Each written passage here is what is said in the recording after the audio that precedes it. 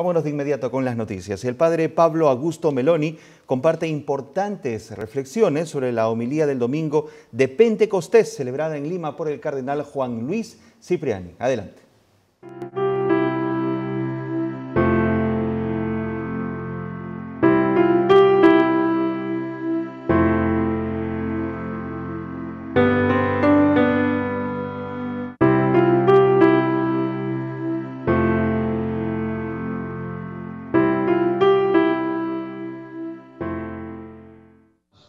Hoy día la Iglesia Universal celebra la solemnidad de Pentecostés,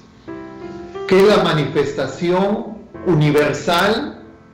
de la Iglesia naciente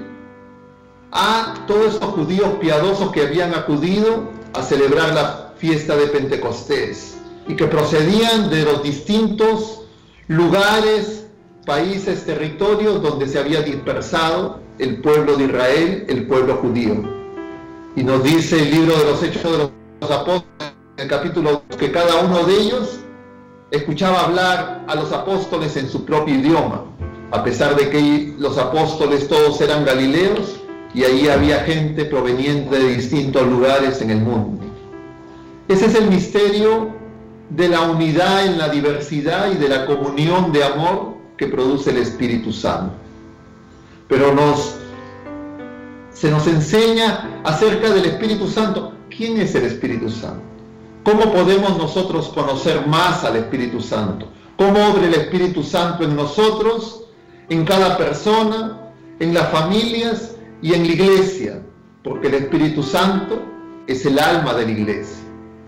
Y nos decía en su homilía su eminencia el señor cardenal que para poder comprender eso, ese misterio grande, nos centremos en comprender el misterio de Cristo Jesús, que enviado por el Padre, el Hijo único, la palabra eterna, el Verbo, nacido de María Virgen, hecho hombre, que vive entre nosotros, en su primera acción pública, se mezcla con los pecadores y siendo el santo de los santos, se deja bautizar por Juan el Bautista en el Jordán, en ese bautismo de conversión, es decir, asume los pecados de todos nosotros, de los seres humanos de todos los tiempos y de toda la humanidad. Es decir, Jesucristo realiza la redención, la reconciliación de la criatura humana con su Creador, con Dios Padre, con Dios unitrino, en el Hijo amado, en el Hijo único, que se hace primogénito por amor a nosotros.